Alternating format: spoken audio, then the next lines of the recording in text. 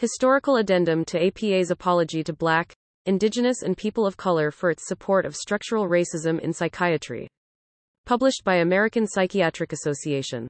As described in the privacy policy of the American Psychiatric Association, APA, this website and application utilize cookies. By closing this message, continuing the navigation or otherwise continuing to view the APA's websites and applications, you confirm that you understand and accept the terms of the APA's privacy policy, including the use of cookies. Read our privacy policy. I agree. In this document, the APA hopes to elaborate on some past events that have contributed to structural racism's pervading presence today. When Eastern State Hospital, ESH, the first psychiatric care facility, was founded in 1773, it was not segregated.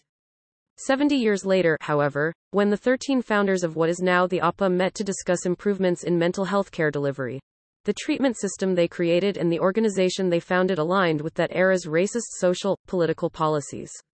In this system, black patients received psychiatric care separately from white patients.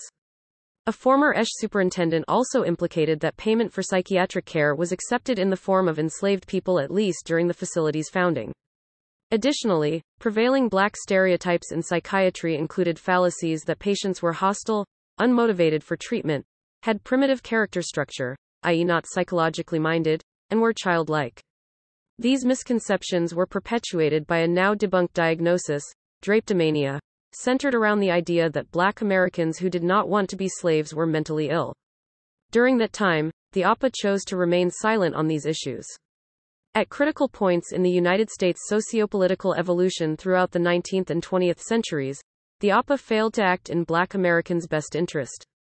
This inactivity was notably evident while white supremacists lynched black people during the Reconstruction era as well as when Jim Crow segregation was in effect which led to separate but equal standards of care starting in 1896.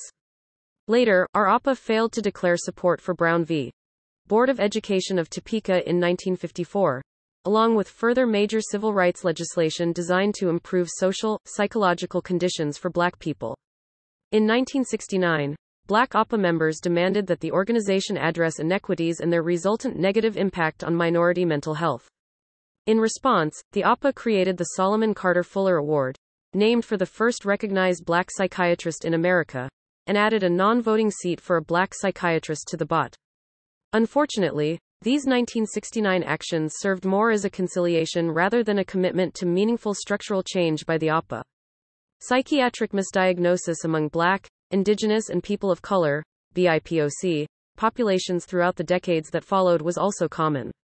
For example, late 20th century psychiatrists commonly attributed their minority patients' frustrations to schizophrenia, while categorizing similar behaviors as neuroticism in white patients. One study found that a sample of largely APA members diagnosed more black than white patients with schizophrenia, even when both had otherwise identical vignette style clinical presentations.